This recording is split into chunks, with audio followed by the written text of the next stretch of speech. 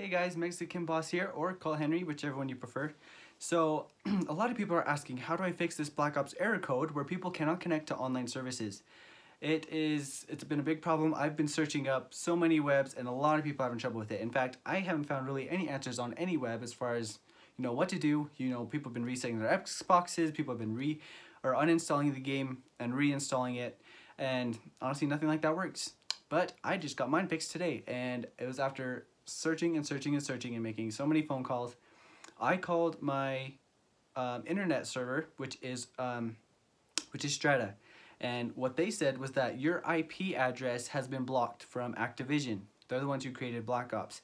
They do that if they feel like a person is cheating or um, you know for other reasons like that. So uh, if the, you cannot connect to online services, that is because your IP address has been blocked by Activision and they're not going to unblock it you need to call your server, um, Strata or whoever you know your provider is, AT&T, Ver you know Verizon, whoever you know gives it, gives you your internet.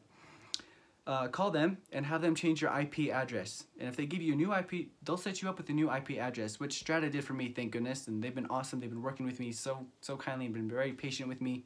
And they gave me a new IP address, and instantly I reset my router, and it works. It's awesome. So if you're having trouble with connecting to online services and you're getting the ABC error code, it is because your IP address has been blocked.